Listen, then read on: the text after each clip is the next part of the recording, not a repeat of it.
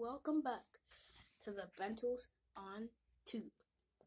Today I'm going to be doing another educational um, video, entering the last video, um, inequalities. Um, we had, again, as I said in the last video, Pokemon video review, watch it if you can, um, I said that um, we had some technical difficulties with the recording and we had to shut it down early like it just stopped. So, anyways, this is a continuation, just like the last one, except it's uh, you know, different. Um, we have uh, like decent camera work, but our videos are still awesome. So, anyways, we're just gonna get to on onto it. Get, yeah, get onto it. Yeah, that's what I said. Yeah. Okay, so anyways, um, let's move on to the thing. Also, we're gonna be adding a a new type of format of education on this of new type of format of math on that on the inequalities just a jumpstart for sixth graders coordinate plane after the uh, inequality equation. So anyways let's move on to it. And so um here we are.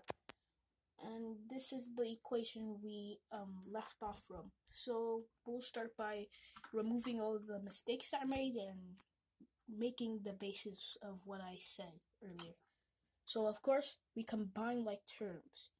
If you've seen the other videos of um of stuff like this, if you've seen other equalities inequality videos I've done, it's that I've always combined like terms. Um, you'll see in all sorts of algebra um pre-algebra um books and all sorts of stuff. So I always like to do it like bring something over here. You can do it many ways. You can many ways. You can bring it over um the um coefficient to here.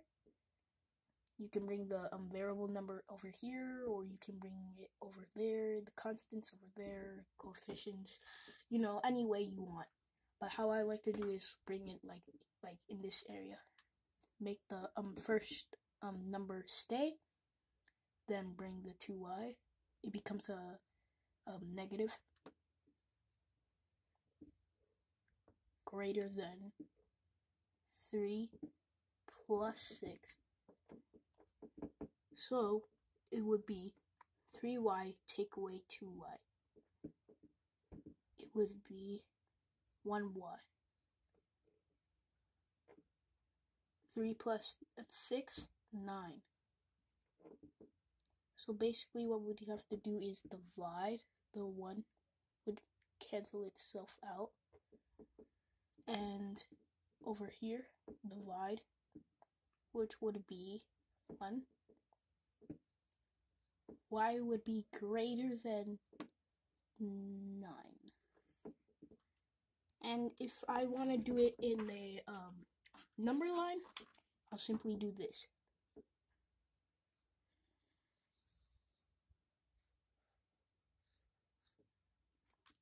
Let's just say 9 is over here.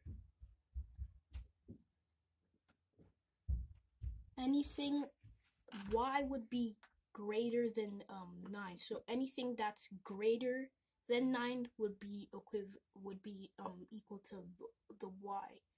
So let's just say 10 could be um greater than 9. 11, 21. Any integer that's greater than 9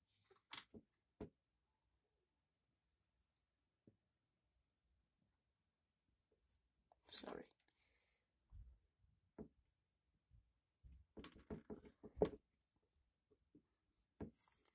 So it would go up. Anything else. So it could be 10, 21, 11, 12, all sorts of stuff. Remember, these are inequalities. Multiple possibilities. It determines if it's a greater than or less than sign. So, multiple possibilities, different probability, etc., etc.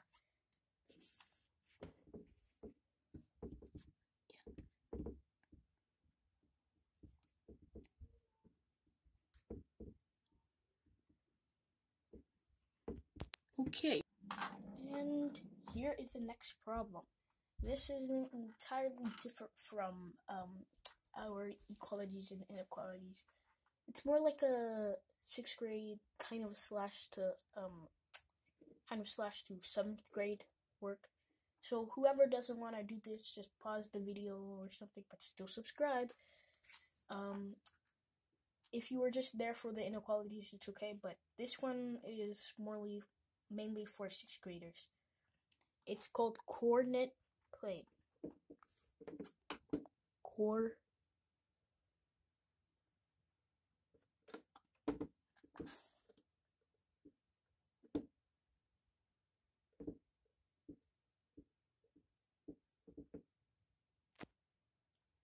I can't I'm spelling it right. I think I'm spelling it right.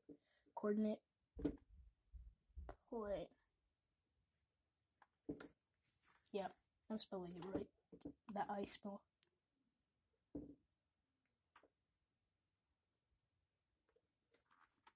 So, coordinate plane is basically on a graph, and at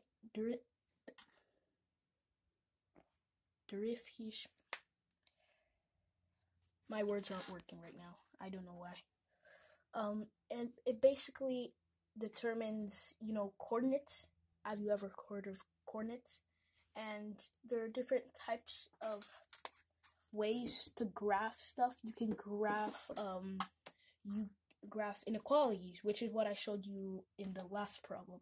And on coordinate plane, it's two, um, two lines that are called axis, axes.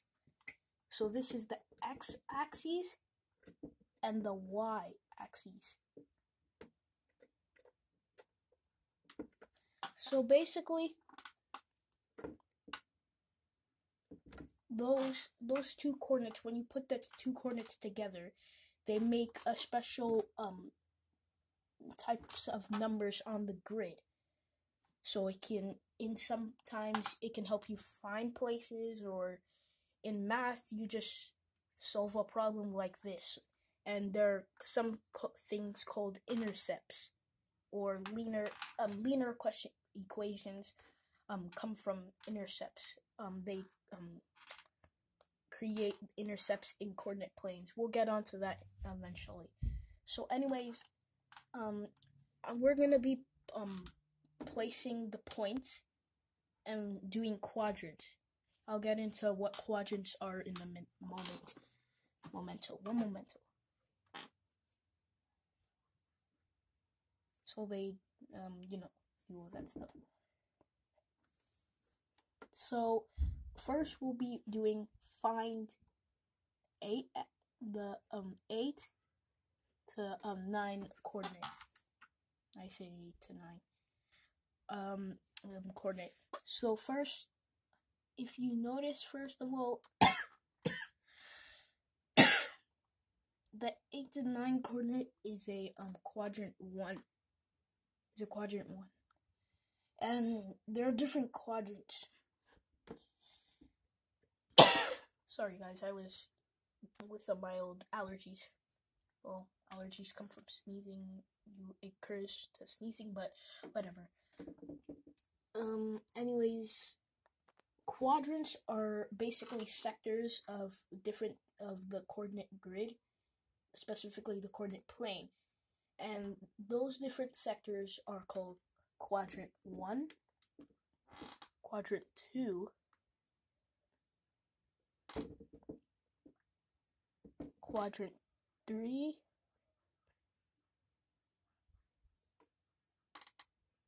and quadrant 4. These are the common um, Roman numerals. So anything that's positive, like let's just say four, three coordinate would be a quadrant um one.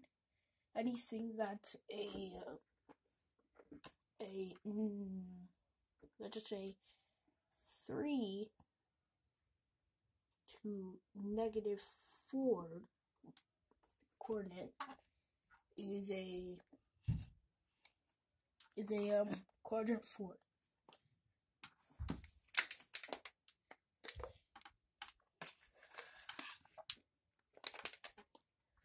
Anything to a quadrant three is all negatives.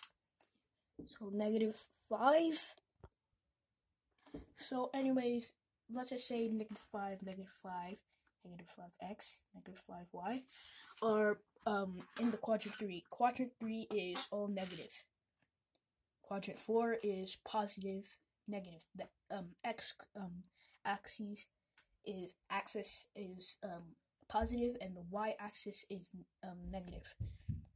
They're um, for both of the axes, um, they're um, negative. Both of them are positive, and for coordinate um, the coordinate um, quadrant um, two, it's the um, x axis is negative and the y axis is positive. So it would be negative 4, just giving negative, no, no, sorry, 5. So with negative 4 to 5.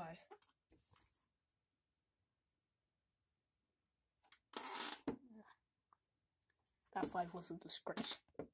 Disgrace the whole 5s. Still the disgrace.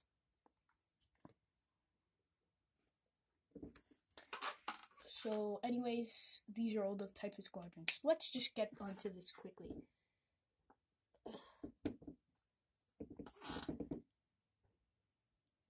So, back to the um, coordinate. So, 8, 9 would be over to um, this area since it's quadrant 1. So, the 8 would be sorry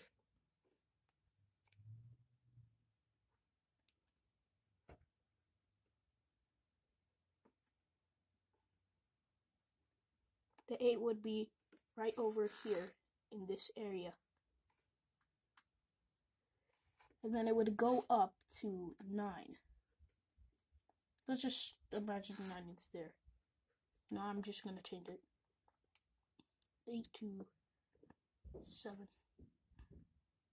So that coordinate um seven would be up here, and we connect the um line. We connect um the coordinates, the um the axes in uh, the each um x and y axes. So it would be up to here in this area. That would be um eight um seven the eight seven eight x and seven y. So negative four um three um and a, a half would be down up here actually.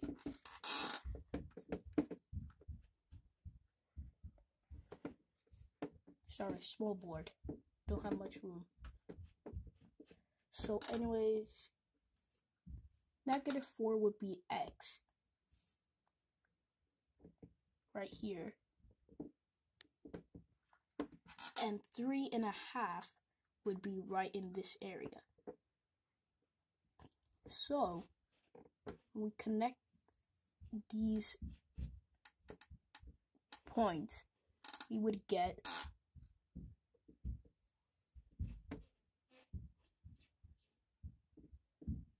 would get that um, number.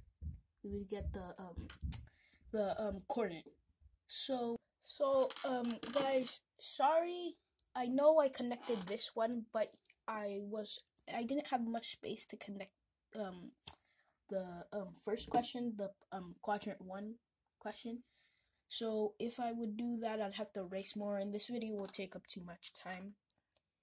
So, but you don't always have to draw lines when you make a grid. Cuz sometimes you can just already look at the um points and just try to just calculate where they are and point the thing. But if you want to make a line just to make it simpler and more adequate and, you know, average, then be my guest. So, anyways, this is the entire format. Um, we'll move on to more of this. I want to try and give you guys intercepts. I want to try and see if I could give you guys intercepts. That would be for another video. So that's the end of it. I hope you guys enjoyed this video. Like, subscribe, and share this. We are at a thousand subscribers, and I'm so happy. If um, none of you guys have seen the thing, and we're very um thankful thankful for what you guys have given us. Um, thanks to you guys, we're at a thousand. So here it is. The next video will probably be next week. So um, watch out for Emrace's um, videos. In the meantime, watch the next videos and the other videos. Go back and see if you like them. Have a nice day.